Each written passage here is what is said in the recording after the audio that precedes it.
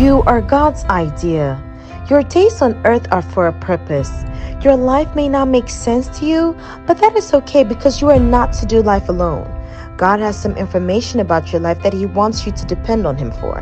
Hey, gifted podcast listener, I greet you with Jesus' joy. It's a pleasure to serve you all. You will finish well in Jesus' name. Now it's time for the daily word from Pastor Kwame. My name is Steph, and have a wonderful day. The scripture says, Rejoice, and again I say rejoice. And I believe that it means that uh, you have to understand the reason why you have to rejoice and rehearse those reasons because our human emotions can play tricks on us and sometimes can take us to places where we find it very difficult to rejoice. But always begin to find strength in the things that God has said and the things that He has done before and put the two together and know that He will do it again. Let me pray with you on today. Father, we thank you. We give you praise and glory for a new week. We surrender to your leadership. We surrender to your lordship. I pray for everybody who is not doing well physically that your healing strength will begin to release uh, from heaven upon us as never before. And I declare in the name of Jesus that something supernatural will affect your body for strength to come. I pray for those who are emotionally, psychologically not stable, that the Holy Spirit Himself will stabilize you. I pray that you have an amazing week in the name of Jesus Christ.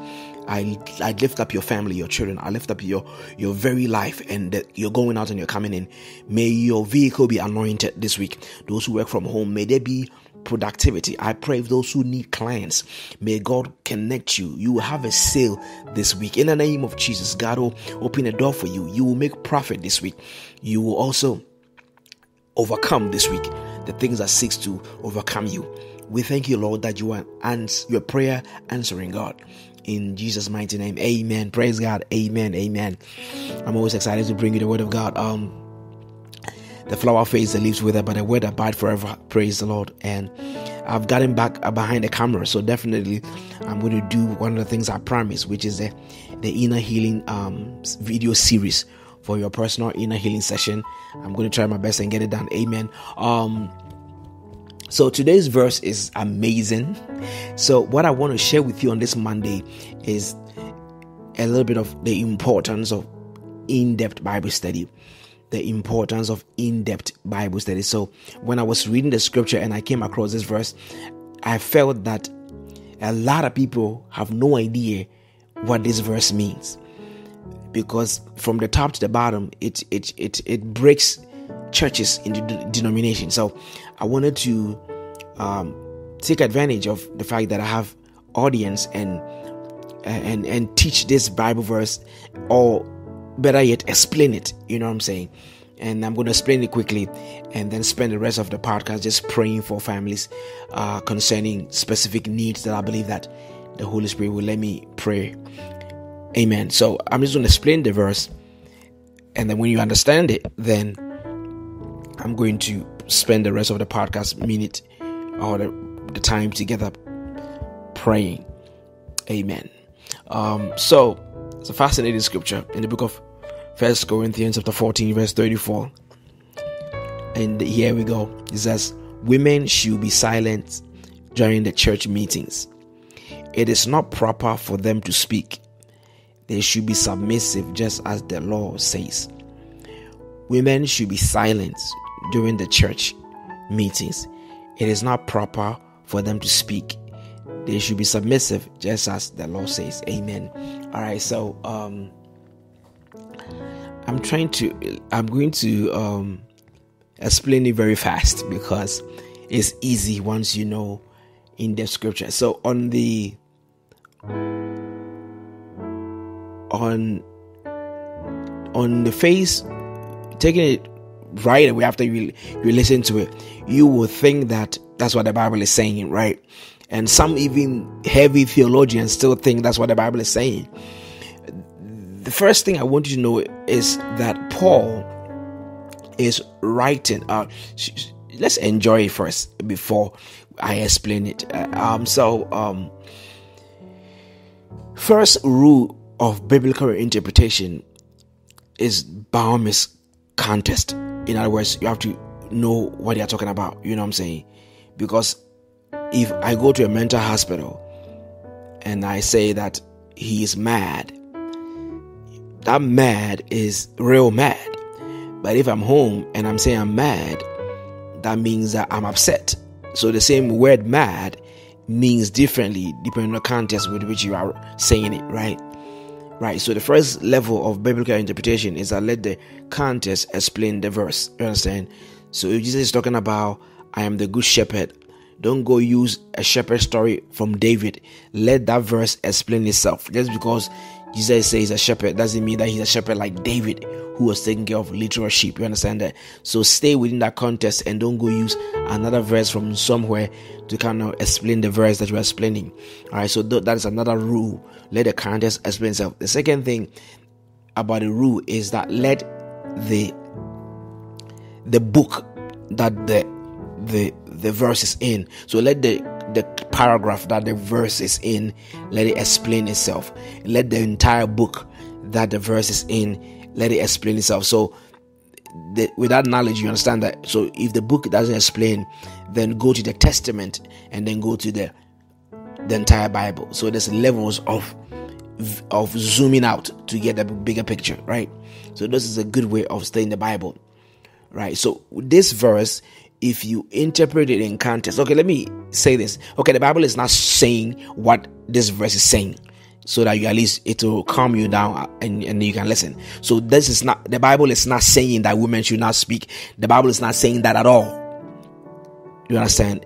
It's not saying that at all, and I'm going to show you in a minute. All right. So let me continue now. So um so you go to the the, the context, you go to the, the whole picture, and then you use that to explain. So when you use context and you use um, what Paul is saying to explain it, you might miss it. People do miss it. The only way you can get this verse right is to do a little deeper study, which is to go to the original manuscript, and that is where you, you kind of find the answer. All right, so first thing first, the entire church of Corinth was a messed up church they were messed up as because they they were very arrogant and very uh, bossy in terms of the way they approach church. And the only reason was because they had a lot of spiritual gifts. They were more like charismatic in them times. They had a lot of gifts that were operating in the church. The funny thing is that they also were the most immoral church uh, in town you understand? They they they were very powerful in terms of the gift things, but at the same time they they were still messed up in terms of character, right? They look more like the charismatic church. All right, so they had a lot of strange things that Paul needed to straighten out. So, not to waste too much time, this is a quote. The verse you're reading is a quote. It's a statement that the Corinth church were using to control the women, and Paul was quoting that. So in original translation, that that verse is in quotation marks. So Paul is saying that, and you are you are you are saying to yourselves that women should keep quiet, blah blah blah. If you have the right English Bible, right after that verse, there will be a big what with a question mark. If you have a right Bible. So that means that Paul is saying, Are you guys kidding me? Are you actually saying that in your churches? Are you hearing me? So find even if you don't have it, just go to Bible Hub and type this verse, and you see about five translation that right after the Bible says women should not speak and all of that, the next verse is what a big what with a question mark. So Paul was like, I couldn't believe my ears. I'm hearing this in this church. You understand that? So it is a quotation, it's a, it's a, it's a stupidity that was going on in the church of Corinth. And Paul was like, so uh, after he said what? He said that, are you guys crazy? What, like, you, did you think that God, God comes to Corinth the church before he writes the Bible? Like what Paul, the next verse Paul says that, oh, do you think the Bible was written by your church or something? Why are you having these strange authorities like you are the author of the Bible? So that was what Paul was saying. Paul was very angry. So in the original translation, that statement is in quotation. And then the next verse says, What? did the word of God come from you guys? Why are you making these crazy statements? You understand that? So that is the meaning of the scripture. Another level of interpretation is that any verse that is not supported by other verses, you have to sit back and understand. Unfortunately, when um before uh Sylvester killed the wife, there was a clip that Sylvester was in the church, and because Sylvester, I don't know, maybe didn't have a proper Bible interpretation, he was trying to confuse the congregation by talking about there's a verse in the Bible that in one book it says that this king was 80 years old. In another book, he says the king was 18 years old. So the Bible is a mistake. As a teacher, as a Bible teacher, when I see those discrepancies, I get so excited because that means that there's a deeper revelation. You understand? Because if the Bible wanted to trick man, it won't put conflicting. If the Bible was man made, it will make sure that there's no conflict inside because it's God breath. Everything in the Bible is true. So when you see one thing saying something different, you have to be happy because that means that when you dig deep, you're going to find some good some good news out of it. So instead of thinking that the Bible is not good, you should be happy because there's something that is going to come out of it when you study it deeper. You understand that? So when you study this verse deeper, you realize that the same Paul cannot talk about what women should do in the church in the whole book in the same book of corinthians where he talks about uh, one woman can and when you are prophesying do this. One so he addresses he and she. He addresses the whole without gender or anything right? So he will not come and say that women should not speak when in other verses and other chapters he has talked about the women should do that and the men should do that. Do you understand that?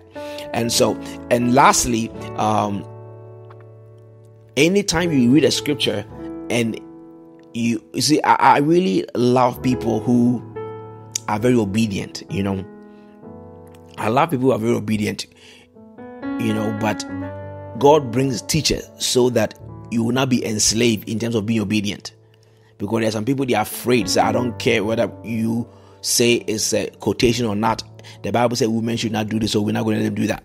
You know they will say that but anybody that has the holy spirit knows that this is not what the bible is saying.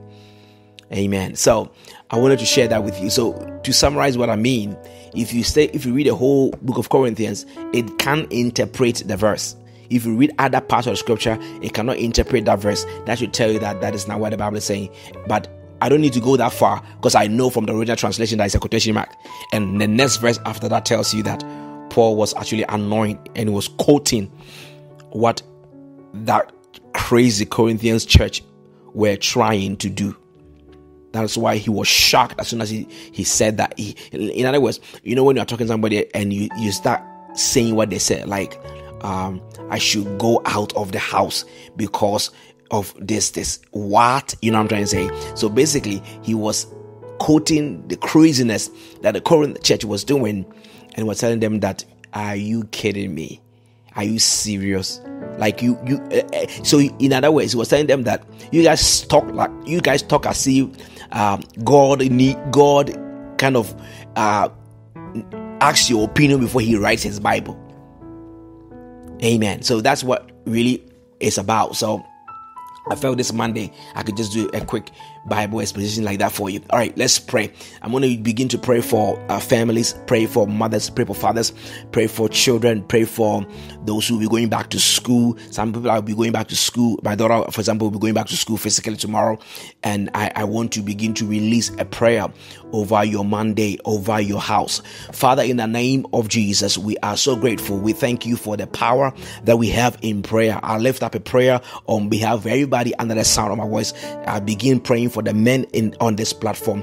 Some of them need a, a divine help. Some of them need jobs. Some of them need open doors. I pray and I push in your direction opportunities. I push into your direction upliftment. I push into your direction favor and I bind the work of the enemy against your life in the name of Jesus. I pray for those who are sick on the platform. One of my greatest daughter, uh, Juanita, is not doing well. I take authority and I use it as a point of contact and I lift up a prayer for everybody on this platform who is not doing well. Anybody and in the in the hospital, may the spirit of God release healing for you right now in the name name of Jesus, I pray that the Holy Ghost will arrest every power that wants to dominate your body. In the name of Jesus, I pray for a lifting to come upon you. I pray for mothers for strength. I pray for daughters for strength. I pray for those who are still seeking, those who are in school, those who are struggling. Father, let help come. Let help come in the name of Jesus. I lift up a prayer for those who are struggling in secret places. I pray that the Lord will strengthen you, the Lord will give you victory in the name of Jesus. I pray for those who financially can determine their left from their right. May God help you. May God support you in the name of Jesus. I pray for those who are also in a, a, a captive of any kind. Eh, eh, Anything that begins to lay hold of you captive. I pray in the name of Jesus that be loose out of them all. Be loose out of them all. Be loose out of them all in the name of Jesus. And now I pray for any special need that that you will need this week. May God supply. May God sustain. May God restore. Now I pray for salvation for your husband. May your husband be born again. May your wife be born again. May your children be born again. In the name of Jesus, I pray for healing. I pray for healing. I pray for restoration in the name of Jesus. Now I want to pray for those who are still battling with some corona stuff. May the healing of God come upon you. May the healing of God come upon you in the name name of Jesus. Father God, I thank you that jobs are coming forth. I thank you that this week will be a great week. I thank you that your hand will rest upon us. We give you glory for the great things that you've done. In Jesus' name, amen.